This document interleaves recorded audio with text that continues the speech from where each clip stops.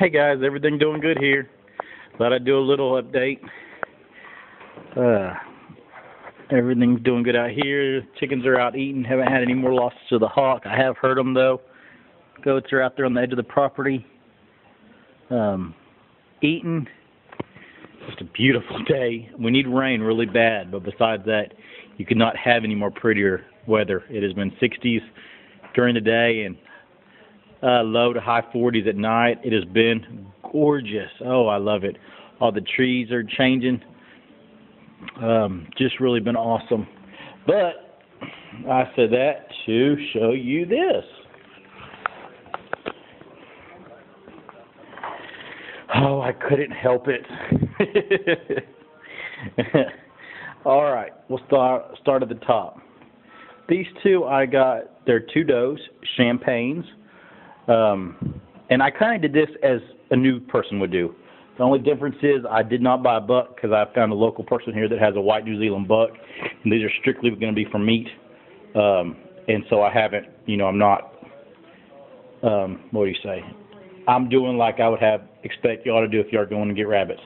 I looked on Craigslist and found a animal swap. They had chickens and rabbits.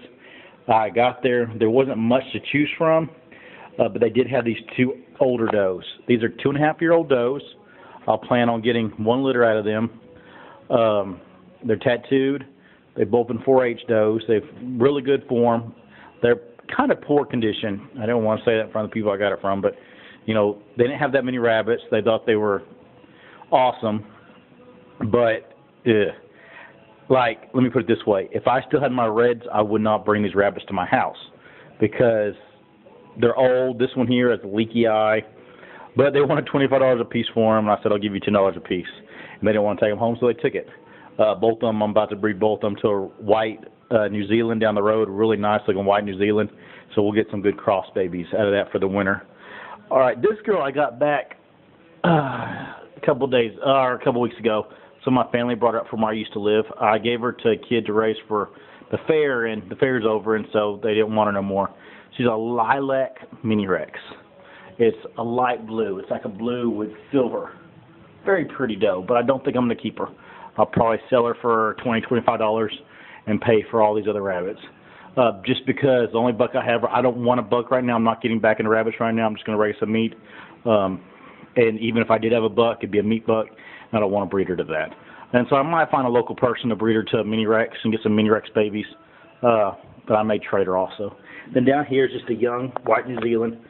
She's uh, eight months old. She had one litter a little early, um, so she's not full potential, but she's perfect for what I'm looking for. She had seven, raised seven at five and a half months old. That's way too young. I wouldn't breed till five months.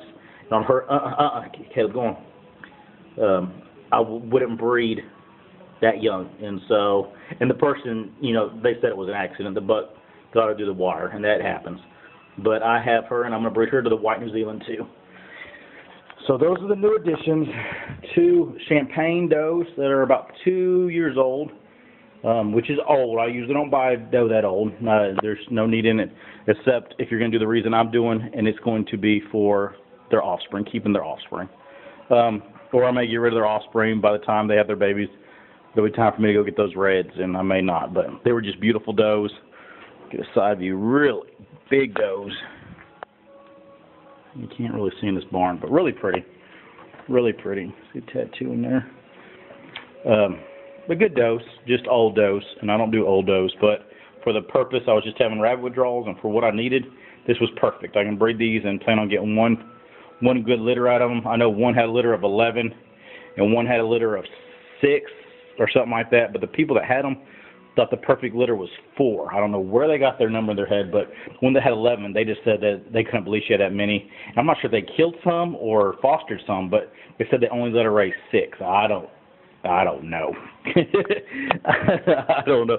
Did not even go there. But there's the rabbits. Uh, gonna have three meat does. I have an extra pin here. This pin is really nice. I, I got this pin before I moved. Excuse me for fifty dollars. Has six compartments but then I can also pull the center out and it makes three huge compartments. And so it's three compartment or six compartment. And so my thinking is if I have if I get rid of her and I have these three does, they'll stay in one side, and then when they uh, nest, I open it up and let them nest on the opposite side of their cage. And then when it's time to wean the babies, I can put the divider, and the babies will stay on one side. Um, or I can put um, two mamas and separate little ones, and get the babies a big one like on top, where they have more room to move. Um, but like I said, I'm not going to be doing a bunch. It's just going to be these little ones right now to the spring. But I had to get some rabbits.